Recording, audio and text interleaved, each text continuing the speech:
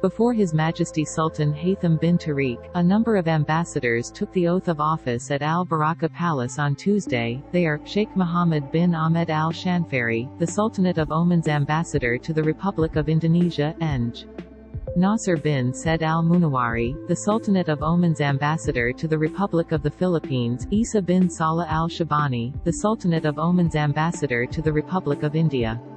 The oath-taking ceremony was attended by Foreign Minister Sayyid Badr bin Hamad al-Busaidi.